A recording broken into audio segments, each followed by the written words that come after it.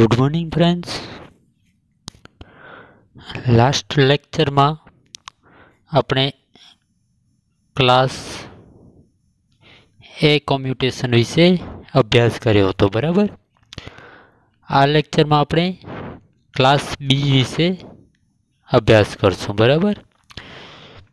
વિદ્યાર્થી મિત્રો, આજે ક્લાસ એ થી કરીને ક્લાસ એફ સુધી જે કોમ્યુટેશન છે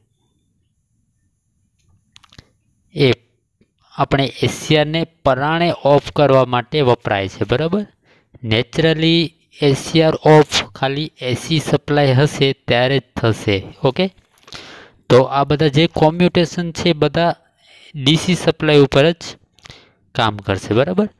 તો વિદ્યાર્થી મિત્રો, એટલું ધ્યાન રાખજો કે આપણે એશિયાને પરાણે ઓફ કરવાનો છે. અને એના માટે કયા કઈ સોરી કઈ કઈ મેથડ ઉપયોગી છે. તો એ મેથડ આપણે અત્યારે જે શીખી રહ્યા છીએ એ છે.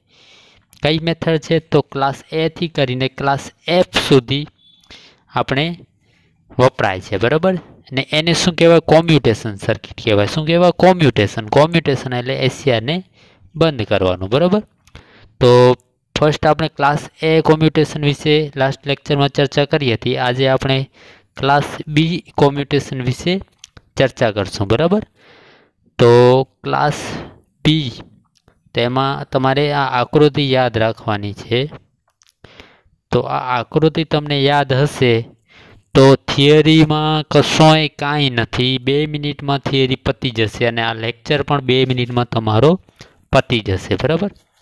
હવે વિદ્યાર્થી મિત્રો, મેં તમને કીધું હતું કે આ તમારી કોમ્પ્યુટેશન સર્કિટ છે, બરાબર?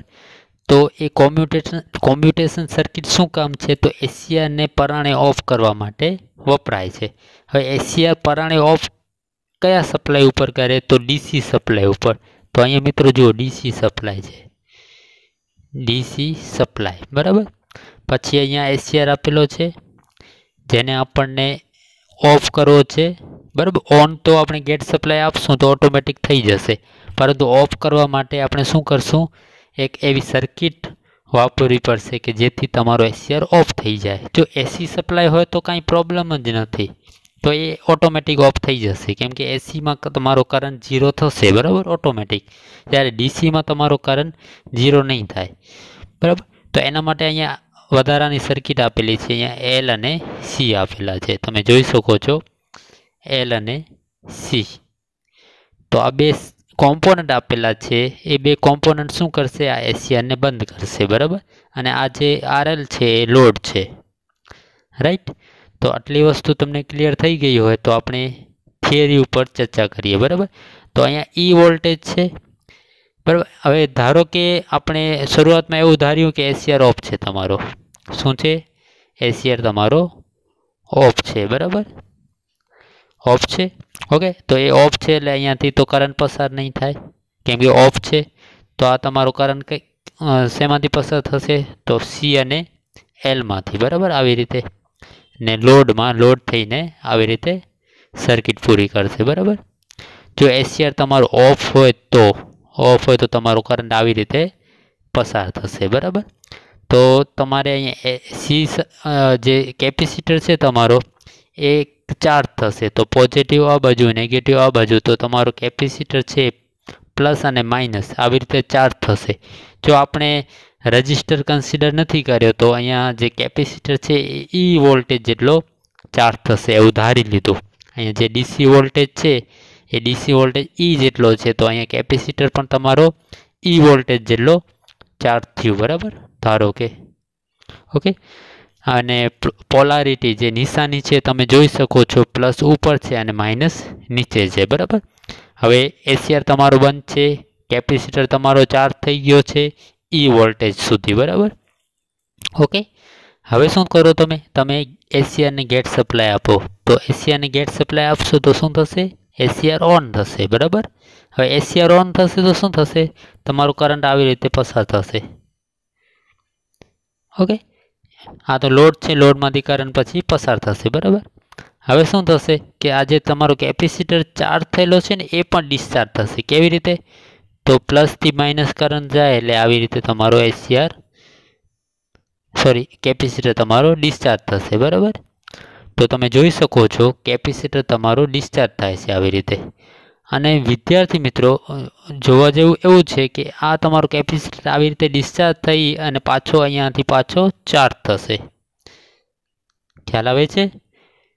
જો અહીંયા લોડનો કરંટ તો અહીંયાથી જ આવે છે આવી રીતે. આ કેપેસિટરનો જે કરંટ અહીંયાથી આવ્યો, વધારાનો કરંટ જે આવ્યો, એ તમારું કરંટ આવી રીતે આવી પાછો કેપેસિટરને ચાર્જ કરશે. બરાબર?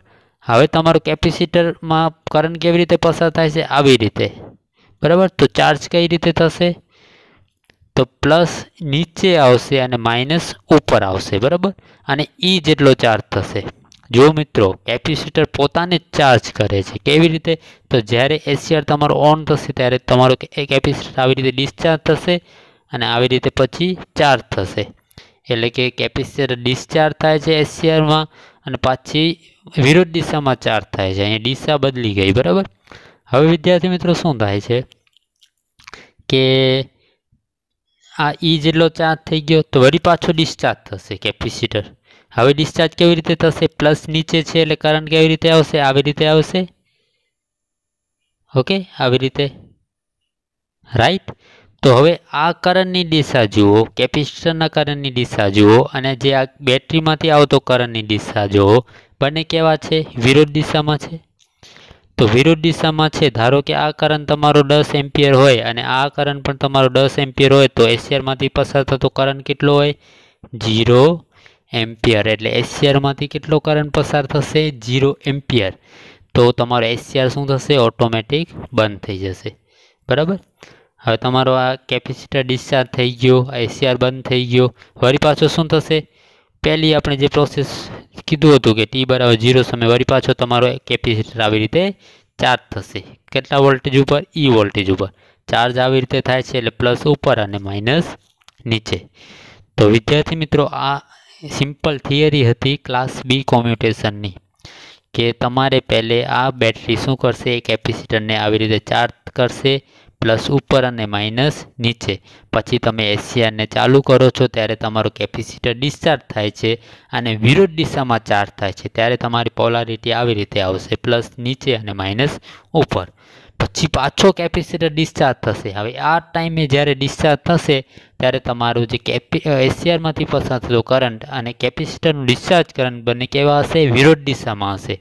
એટલે શું થશે કે વિરોધ દિશામાં હોવાથી તમારો એસીઆરમાંથી પસાર થતો કરંટ શું હશે? ઝીરો અને તમારો એસીઆર ઓટોમેટિક બંધ થશે, બરાબર?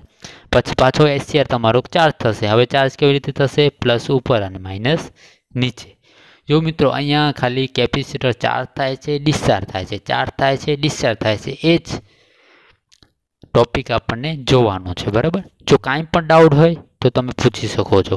Thank you